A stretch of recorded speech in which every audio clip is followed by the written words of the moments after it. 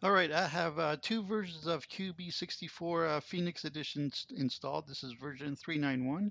I have the 32-bit and 64-bit, and both of them don't work.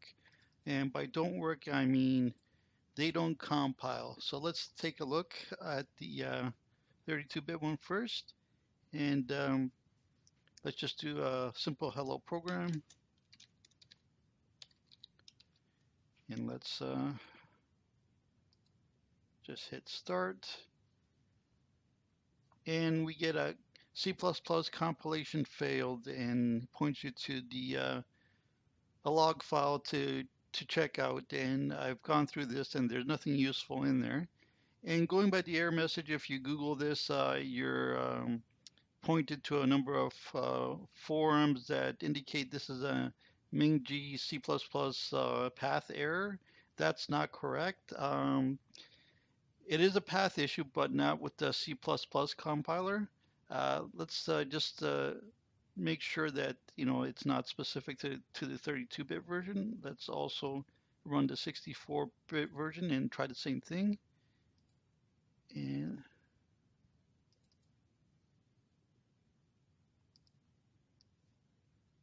and let's do the same thing again. Where did it go? Here we go print hello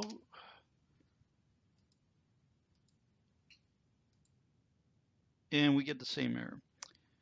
Now, uh, if we take a look in my uh, system settings and we go into environment variables, under system variables here, we go under uh, path and let's just see what we have there.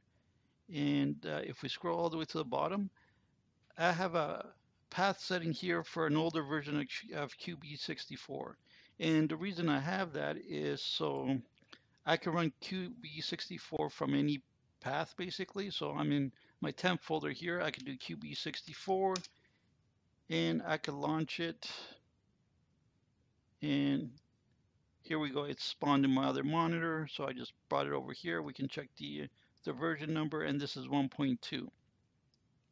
Now, some of you may have the same kind of setup, and this is the reason why uh, the new versions are failing. It's because uh, you have this path setting in there that's conflicting with the new installs. So let's just remove it and uh, see what happens. So let's, uh, I'm just going to close this and close this down as well. And let's go back to our folder where we have our QB64 installs of the latest version 391 so let's run the 32-bit version now. And let's try again the same thing. Print hello. Run start. And Let's see, what did I mess up now?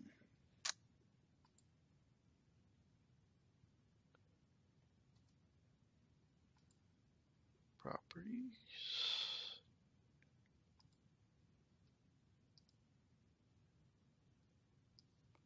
Did I not remove it?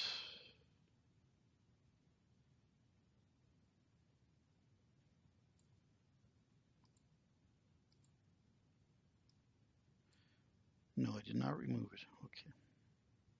Let's try this again.